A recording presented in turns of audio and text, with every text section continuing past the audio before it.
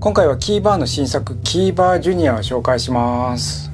上がノーマルのキーバーで下が新しく発売されたキーバージュニアです。サイズが全然違います。今までのキーバーが両方からキーを差し込めるのに対してキーバージュニアは片方だけです。ノーマルのキーバーにはポケットクリップがあったんですがキーバージュニアにはポケットクリップがなくてこちらのポケットクリップはオプションで購入しました。こちら面がチタンでこちらサイドが G10です。こちらのキーバーはこちらがカーボンで裏がチタンでキーツール。以前紹介したモカツールをつけてます。こちらもモカツールとキーだけ。そしてナイトコアのティップ2とチタン製のホイッスルをつけてます。でもう一つキーバーを持っていてこちらです。リミテッドエディションのチタン製です。キーマイナスドライバーに USB メモリーそして一通りのツールをつけてます。ディープポケットクリップすごく気に入ってるキーバーセットです。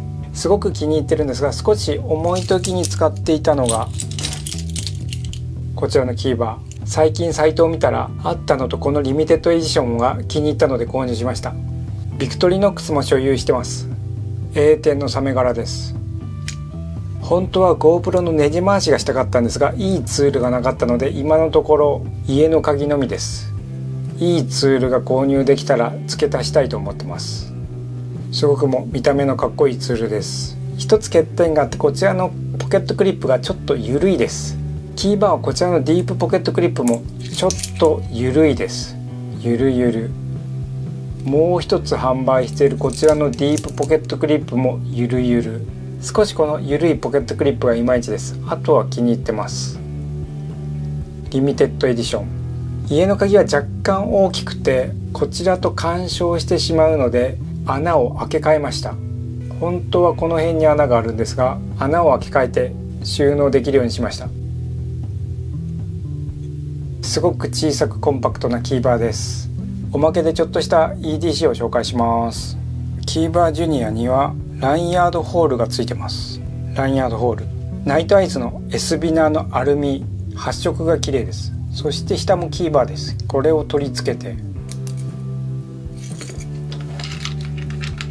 こちらはダンゴのマーベリック。こっちにもつけてます。これで連結することもできます。キーバージュニアとマーベリック。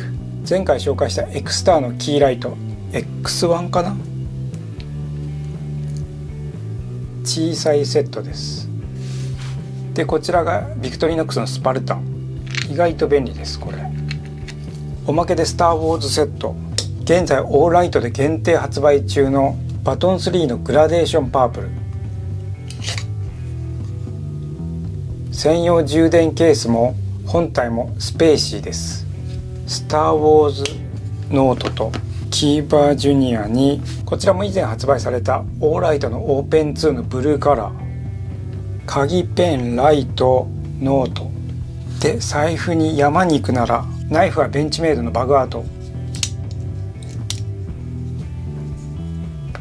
それかビクトリノックスの2015年の限定モデルカディット。少しブルーがかった色で合わせてみました。今回はキーバージュニアを紹介しました。なかなかかっこいいキーツールです。